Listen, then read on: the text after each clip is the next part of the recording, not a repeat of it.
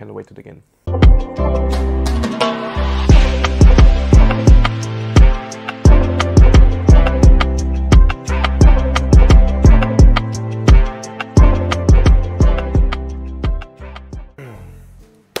Welcome back to Enjoy Spoonful, guys and la ladies, of course, um, or welcome to the newcomers. This is the Enjoy Spoonful channel where we talk about food, discuss its origins as well as recipes, where they come from, how they're made. In today's new world, we like to eat on go sometimes, which means sandwiches. And today we eat quite a lot of them, to be honest. So I thought that I was gonna give sandwiches an episode as well. Um, as we all know, sandwich has a particular name, sandwich, and the funny thing is where the name came from. It was popularized more specifically in 1762 in England by certain John Montagu, who is, was the fourth Earl of Sandwich. Make connections now? Can you see the dots connecting?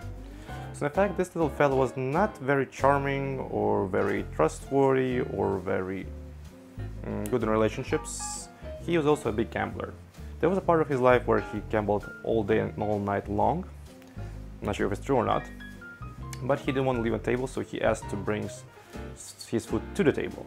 And he wanted have something between two slices of bread, so he could not mash the cards with his wet hands. Thus, he liked it so much that he kept on ordering this all the time he was playing cards, and at some point it just got it just stuck. So now I have a sandwich. Funny thing is that I from what I uh, researched and found out that he did not think of it himself, he inspired from mostly from Mediterranean travels he had, where people are eating mezes, in Greece for example, where they put stuff on the bread as well already, or in between even two breads. Speaking of bread, um, archaeologists have found some charred crumbs dating back to 14,500 years before so yeah, we've been eating bread quite a lot with our civilization here right now. That's a little intro for the sandwiches as a history. So when I thought of this episode, I said I'm gonna. So when I thought of this episode, I'll say I'll not make just one recipe. I'll make two of them.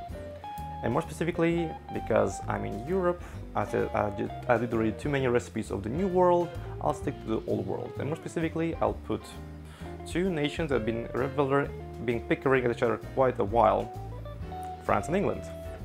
So, in the red corner we have BLT, in the blue corner we have Croque Madame. So let's make those two sandwiches now and eat them. Well, I'll eat them, you have to watch me eating them. Let's make those sandwiches and see what they bring to the table. Uh, for BLT sandwich, it's pretty easy. What you have to do is just take some bread, whichever you prefer, sourdough, baguettes, um, easy, like toaster bread, but better quality than just supermarket one, please go to the bakeries, they make good bread there as well. Um, and support the local bakeries, please. Mm. So what happens? So, uh, so all, there's a little bit of cooking involved. What we have to cook is just to crisp up the bread and the bacon, because bacon has to be crispy. crispy. All right. So what you do, just you can put um, streaks of bacon on a on a rack, put it under the grill, and leave it there for until it crisps up. Or you can also do it in a pan if you don't have a grill up to you. Or if you have a panini machine, you can also do that in the panini machine. That does work as well. So after that's been done, so we have to slice the tomatoes. Don't take them too thin nor too thick, just enough to make it interesting texture. Then also put some lettuce, so you can slice it up in streaks to make it more interesting, or just leave the leaves whole. And for course we have to put mayo there, because the whole original recipe has mayo. But we're gonna make mayo a bit more interesting. We're gonna zest some lemon there, and also chop some bit of basil there. Why not? Because we can. So when everything is built up and done, and when everything is cooked, you start building your sandwich. But before we get to that, let's talk about the croque madame. Alors, mesdames, messieurs, pour le croque madame, it will take a bit more time, and I start with French accent right now. Uh, so what it comes to do, first of all, I would advise you to start with the bechamel sauce. So what you have to do with that is just take a pot, not too big one, drop of butter there, start melting it down, then add a flour, start mixing it till it cooks off. How you can see if it cooks off? Well, by your nose, which just means like we're smelling, it starts smelling like baked pastry. When that's done, start adding milk bit by bit. And don't forget to whisking all the time because you don't want to have lumps or you have to go and sieve it, which gonna lose your time, you have to clean more stuff, so just keep on whisking all the time, don't forget about that. So when you have bechamel ready, in the meantime, you can also crisp up your bread in the oven or also in a panini machine or in a, in a toaster or again in the pan. Then what you have to do is put some Dijon mustard it's going to bring a bit more interesting flavor profile to, the, to this little croque madame. Um, then start putting your ham, your grated cheese, which this time I went for, I went a bit more traditional route, I went for Emmental. So you can or slice it if you don't have time or grate it, both works.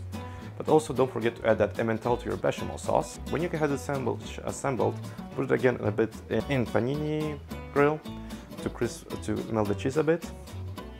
Then take it out, put some bechamel sauce on top of that, add a bit more cheese if you want, put it in the oven under the grill so it starts crisping up even more, melting even more cheese. And then, and then, meanwhile, start cooking your egg. When it comes to eggs, they don't cook on a high temperature, better cook them low and not, well, kind of slow. So take a bit of oil, maybe a bit too much than you usually do. Crack your egg there, cook it slow, don't rush it. When you think it's almost done, turn on the heat, it's gonna have enough heat to cook it by itself, then take it out, dampen it in a tea towel. By that time, your sandwich should be ready, take it out. Let's assemble those two guys now. So we have on the left side, BLT, on the right side, Croque Madame.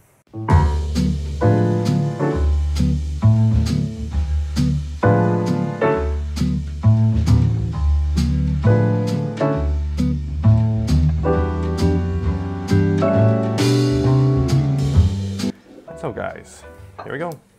Two contestants. One a bit on a healthier side, one a bit on the naughtier side. Well, I mean like, not, I just have to dig in. So we call a licking egg yolk.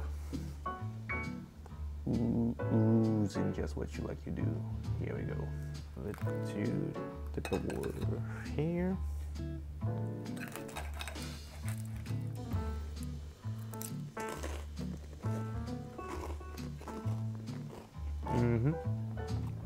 Delicious.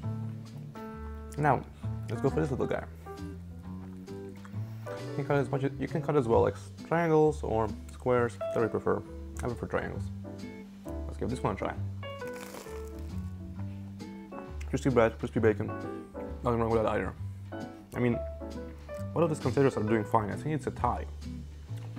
Maybe you can help me decide which one you prefer the most, Croque Madame or BLT. Please leave in the comments below. Also share like how would you like to make them yourselves? Do you have any tips and tricks for how you make them? Or like some steps that I may be missed and you do it as well? Because I imagine like I'm not British, not French. I visited IKEA a few times and lived in France for six years, so I have gotten something on the road, but I might be wrong as well. Click on the like button if you enjoyed this video, share with your friends you think they're gonna like it and you want them to make this kind of sandwiches for you. And if you want to see more of these videos, subscribe to this channel and I'll see you next time. Bye bye!